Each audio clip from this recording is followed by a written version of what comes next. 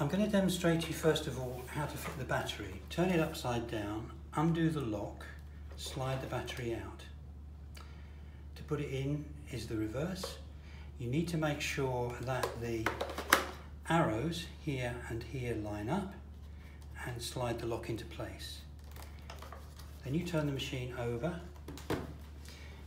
We've got the probe here. The probe has a red mark on here which lines up exactly with the red mark on the port. So I'm going to plug that in and it clicks into place.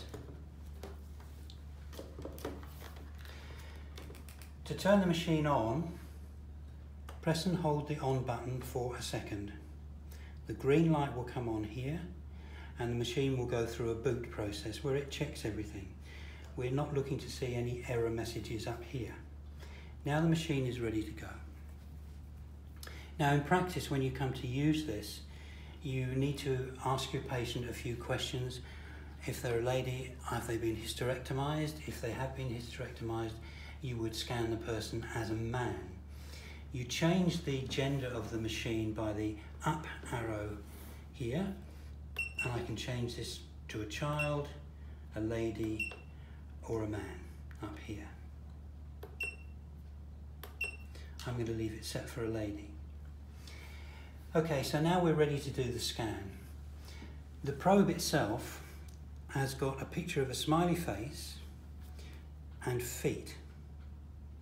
Now the way this probe is used on the patient, and you probably need to show on here, the probe would be applied halfway between the belly button and the pubic bone, face to the patient's face, feet to the patient's feet.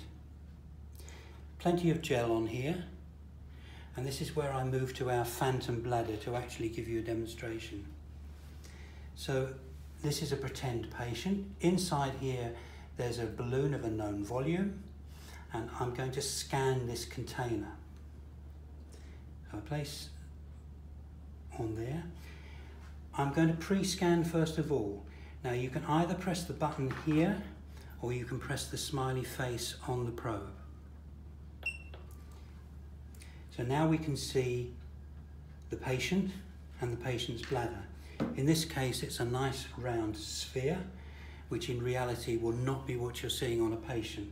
However, for the purpose of demonstration, what you're looking to do is move the probe around on the patient. As you see, when I move it, the image changes. I'm looking to make the bladder,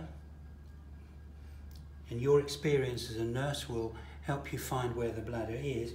I'm looking to make that image as large as possible and bisect it with the red line. When I've done that, you need to ask the patient to remain still and you need to remain still for the duration of the scan process. You initiate that by either pressing the button here or the button here. It takes 12 pictures, takes about two to three seconds, and you need to remain still and the patient needs to remain still for the duration. When you've done that, you get a picture here showing crosshairs and an image of the bladder. What we're looking to see is the crosshairs through the middle of the bladder, and we get a volume of 155 mils down the bottom. Now, in, in the real world, you need to ask a question, well, have I done a good scan? And the criteria for that are, are the crosshairs in the middle, as close as you can make it? And then you want to look at the 12 pictures that the machine's taken. By pressing the up arrow here, I can look at pictures 7 to 12. And I'm looking to see the red outline around the bladder in each image, or as many of the images as I can.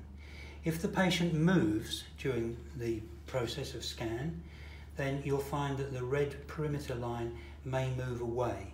And you have to make a decision, are these images accurate or do I need to do the scan again?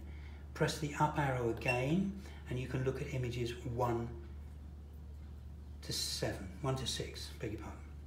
So I've got 12 good images, so I can rely on that volume there of 155 mils. When I've done that, I can press the print button here and produce a printed paper. If you're not happy with the image, if you're not happy with the volume that you've got, you want to do it again, press the right arrow and we're ready to start again. Pre-scan, move around, find the best place, start the process again. So you need to hold it still until it's counted to 12. After that, the patient can move and you can move. 157 mils this time. It's only two mils different from before.